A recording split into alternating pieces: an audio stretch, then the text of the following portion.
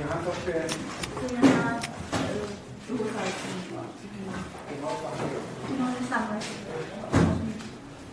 और इसका नाम क्या है देखो हाँ? देखना। अच्छा। कहाँ है घर बेटे? और आप कहाँ के सिरमौर। तो यहाँ कब पढ़ते थे इनके पेरेंट्स यहाँ काम अच्छा यही अच्छा। बताइए हैं। और ये हमारे सिंह साहब। हाँ? जलंधर। तो बेटा ये यहाँ कैसे फिर?